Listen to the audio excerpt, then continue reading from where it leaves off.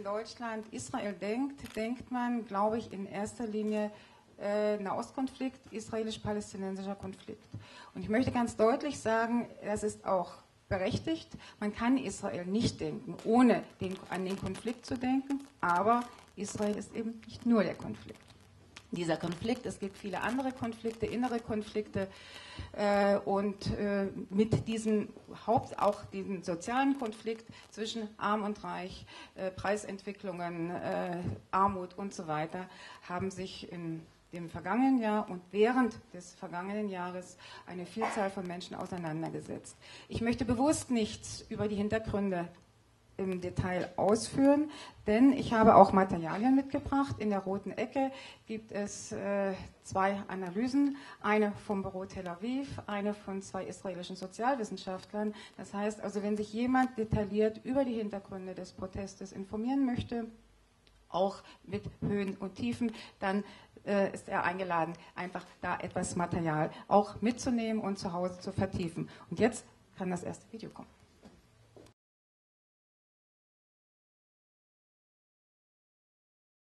Der Film wurde gedreht im Sommer 2011, vor über einem Jahr.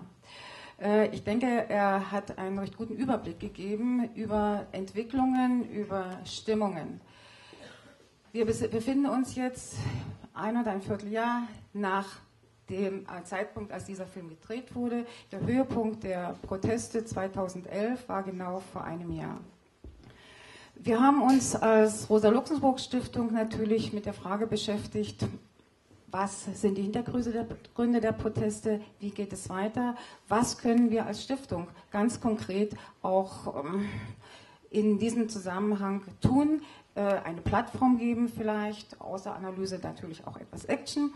Äh, und da unser Geschäftsführer am Eingangs gesagt hat, auch die Tätigkeit der Büros soll ein bisschen vorgestellt werden, möchte ich in diesem Zusammenhang äh, doch über eine Aktivität informieren. Wir haben uns überlegt, ein Jahr nach diesen Protesten wurde angekündigt, wird es eine zweite Welle der Proteste geben äh, wird es eine Demonstration einer Million, so war es angekündigt, geben. Und wir haben äh, im Juni 2012 eine große Veranstaltung unter dem Thema Activists of the World Unite, Aktivisten der Welt vereinigt euch, äh, organisiert, um zum einen den israelischen Aktivisten die mit uns zusammenarbeiten oder viele natürlich auch nicht, äh, zu zeigen, ihr seid nicht allein. Es gibt internationale Proteste. Israel ist nicht eine einsame Insel und wir haben auch mit Unterstützung unserer Büros in Moskau äh, und in New York Aktivisten eingeladen aus äh, äh aus Russland, aus den USA, Occupy Wall Street, aus Spanien und aus Griechenland. Äh, wir haben äh, eine große Veranstaltung durchgeführt, wo diese Aktivisten aufgetreten sind, über ihre Erfahrungen berichtet haben. Und wir haben diese Veranstaltung eben mal nicht als eine akademische Veranstaltung durchgeführt, Analyse und so weiter, sondern äh, im Dia den Dialog der Aktivisten, die gekommen sind, mit den Aktivisten vor Ort äh, versucht zu organisieren. Workshops äh, auch in der Peripherie Aktivitäten durchgeführt und es, ich würde sagen, das war also sehr äh, motivierend, sehr äh, interessant für alle beteiligten Seiten. Zum gleichen Zeitpunkt, als wir unsere große Konferenz in Tel Aviv durchführten, begann eigentlich die sogenannte zweite Protestwelle. Wie sie verlaufen ist, zeigt der zweite Clip.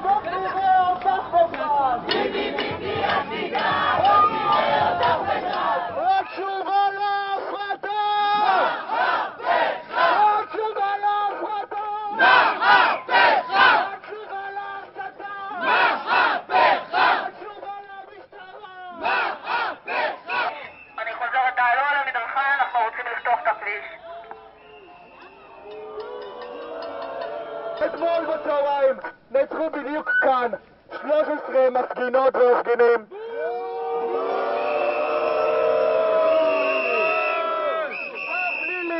שהחלה מחאה חברתית בשנה שעברה. כל מי שנגע בדפני אתמול, כאילו נגע בכל אחת ואחד מאיתנו. ואנחנו כאן הערב, לא רק כי חברי הכנסת של הימין מסיתים כנגדנו, לא רק כי חברי הכנסת של הימין גונבים לנו את המדינה. אנחנו כאן הערב, כי יש מי שבעיר הזו לא רוצה שיהיו לנו זכויות דמוקרטיות. ולאיש הזה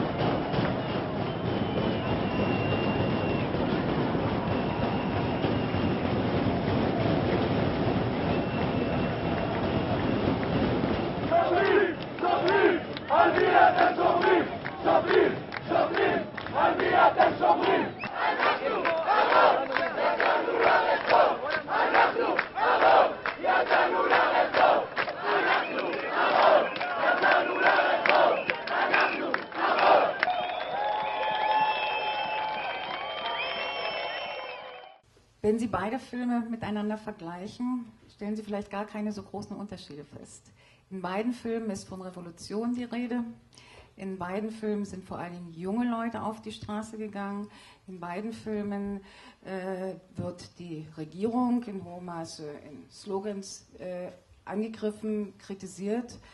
Und äh, eigentlich hätte man diese zweite Demonstration, die Ende Juni stattfand, durchaus als Auftakt zu einer zu der angekündigten zweiten Welle von Protesten verstehen können. Es ist nicht dazu gekommen. Das ist natürlich die Frage, warum und wie geht es weiter. Warum? Ich glaube, es gibt verschiedene Gründe, die hier eine große Rolle spielen. Das hat mit Regierungspolitik durchaus zu tun. Zum einen, weil versucht wurde, äh, wenn man ein Problem hat, es mit Gründung eines Komitees äh, zu, äh, dieses Problem zu lösen, Reformen anzukündigen und so weiter und so fort. Zum anderen aber auch, weil es der Regierung gelungen ist, den nationalen Konsens äh, in einem hohen Maße wiederherzustellen durch die Beschwörung der Gefahr des Iran. Ich glaube, das darf man nicht unterschätzen, dass diese, dieser Zusammenhang hier durchaus eine Rolle gespielt hat und auch eine weitere Rolle spielen wird. Äh, ein weiterer Punkt ist auch relativ, das relativ spontane Entstehen der Protestbewegung. Äh, Es gibt keine festen Strukturen, beziehungsweise es haben sich auch in diesem Jahr keine Strukturen, keine Organisationen in breitem Maße herausgebildet. Es gibt unterschiedliche Positionen der Führungspersönlichkeiten und die im Sommer 2011 für positiv gehaltene Losung keine Politik. Politik bleibt außen vor. Wir konzentrieren uns auf soziale Fragen. Äh, Wir sind uns sicher alle einig, das ist natürlich eine politische Frage, aber man hat bewusst gesagt, die politische Prioritätenliste soll verändert werden, aber Fragen, die nicht konsensfähig sind, wie die Haltung zu den besetzten palästinensischen Gebieten, äh, wie die hohen Militärausgaben und so weiter, die werden nicht thematisiert. Das ist ein großes Manko. Möglicherweise wäre äh, die Breite von 450.000 bei der größten Demonstration nicht erreicht werden, worden, wenn man das mit ins Boot genommen hätte. Aber auf der anderen Seite wäre, glaube ich, es möglich gewesen, doch klare politische Ziele zu artikulieren. Denn wenn man die politische Prioritätenliste ändern will, muss man natürlich fragen, wie Satzung, äh, Militärausgaben und, und, und äh, mit hineinnehmen.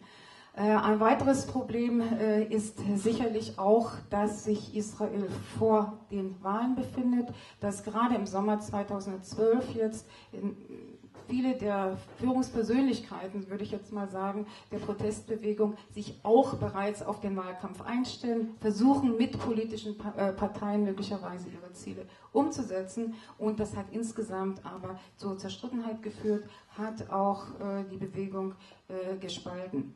Sie haben bei dem, im zweiten Video am Anfang äh, vielleicht äh, registriert, dass es eigentlich sich um zwei Demonstrationen handelte. Es war zunächst eine Demonstration äh, zur Gleichberechtigung und Unterstützung von Homosexuellen. Äh, die, wo, da es eine sehr rassistische äh, äh, Erklärung einer Knesset-Abgeordneten gab. Hier wäre es eigentlich möglich, zusammenzugehen.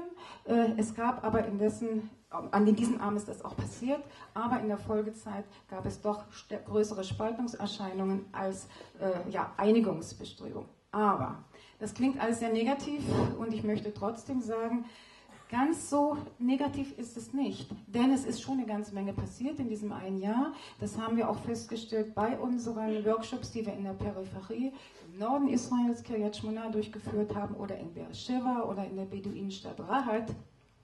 Es haben sich äh, auf kommunaler Ebene sehr viele neue soziale Initiativen entwickelt. Es wird auf diese Weise gerade auf kommunaler Ebene ziemlich viel Druck ausgeübt. Es wird auch versucht, äh, in die Knesset hineinzugehen mit äh, Organisationen, mit Watchgroups, die also die Politik stärker unter die Lupe nehmen. Aber es reicht insgesamt nicht aus, um tatsächlich eine zweite Welle zu initiieren oder durchzuführen. Ich meine, es ist ein Prozess.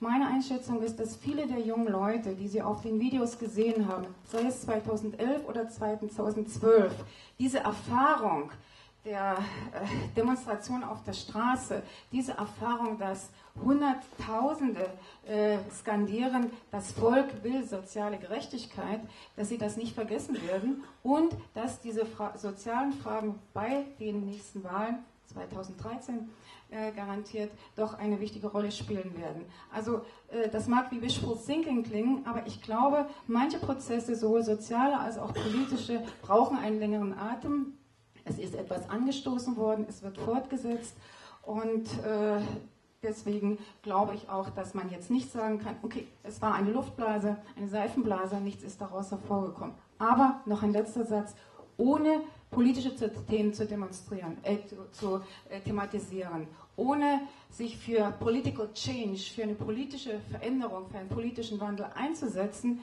wird es dennoch wahrscheinlich nicht zu groß, größeren Erfolgen führen, weil Druck auf die Regierung ausgeübt von unten natürlich auch diesen Aspekt beinhalten muss. Vielen Dank.